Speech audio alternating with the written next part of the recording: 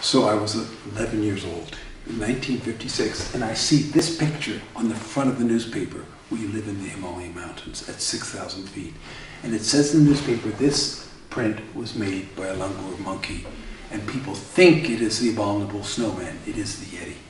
Well, I knew at 11 years of age that it wasn't because we lived in the Himalaya and I went out the back door and I knew what langur monkeys made. And so with my father at first and then all alone, I began searching the Himalaya.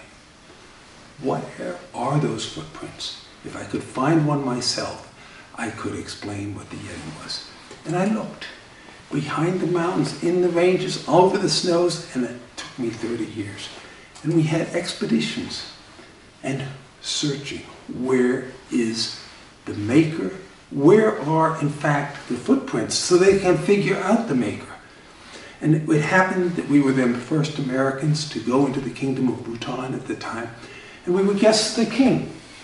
And we stayed at the palace. So I asked the king, do you have the Yeti? Can you explain what it is? Oh, he says, and he called a person, and he says, this is a guy who was disfigured by the Yeti. Ask him what took off his face. And he says, oh, it was the middle of the night, Saab. I don't know what it was. It came at me and it tore off my face. I said, well, your majesty, what was it? And he says, I think it was the blue bear. I had never even heard that the blue bear existed. I knew the black bear existed in the mountain. What is this blue bear? So we searched and I started to make maps and I charted where all the different Yeti sightings had been seen in the snow. And then I kept looking. Well, it happened that the king of Nepal was a personal friend because we've been at Harvard together. And he said, well, in all of Nepal, the most likely place is in the Barun Valley. At the top, up here in the snow, is where those famous footprints from 1951 were seen. But down in here, I think the Yeti is actually living because it needs something to eat in the jungles. So we got permission and we went in on an expedition and we started searching and we found some magical footprints. There in the snow. And what's so interesting about these footprints, which are obviously a bear, we know the hind foot of a bear and the front foot of a bear. There you go. So these, then how do you make the footprint that looks like the old hominoid print?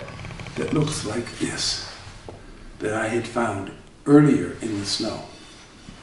Well, it turns out that if you take the hind foot of the print in the plaster Paris, here, and the front footprint here, and you overlay them, especially when the bear is walking uphill.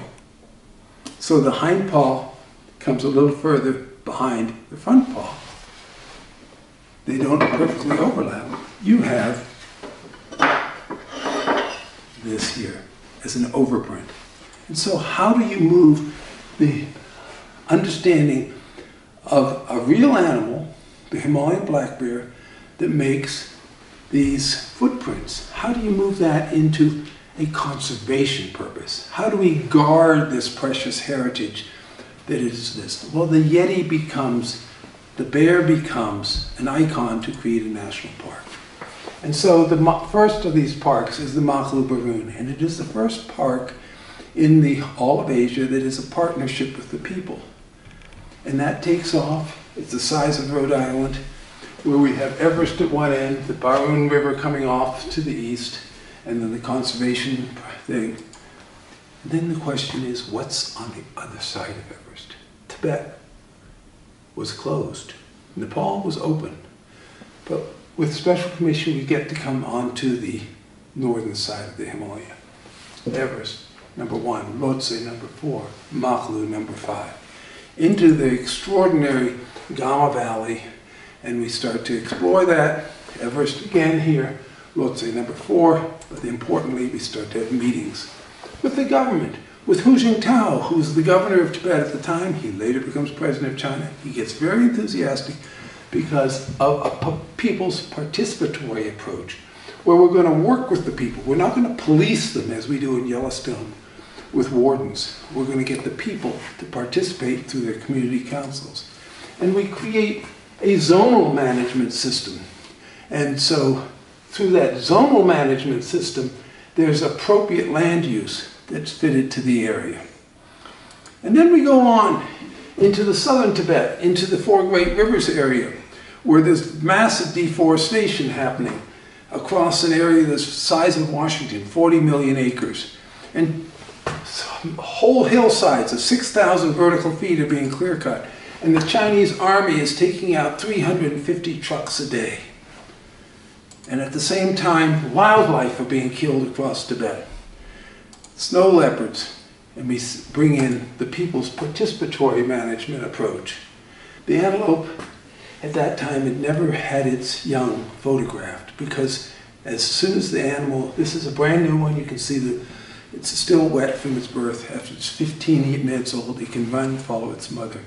And Tibet at that time was surging with immigrants coming in from China. So before the population started to grow, we started the Lhasa Wetlands National Park, which is twice the size of Everest, I mean, twice the size of Central Park in New York, which has now become the home and a breeding ground for the black-necked crane. And with this picture, I end, and so you can see that the black-necked crane is breeding, and here is the achievements now across Tibet. 13 national parks, the size of Arizona, the size of Washington State, the size of Massachusetts, and it all began with the Yeti.